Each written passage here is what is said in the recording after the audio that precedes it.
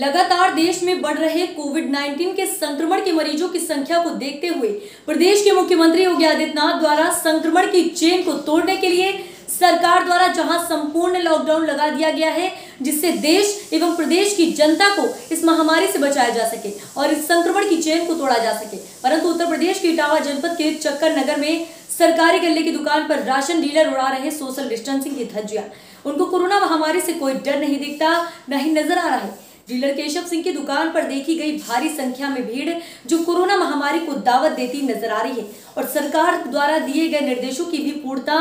धज्जियां उड़ाते हुए नजर आ रहे हैं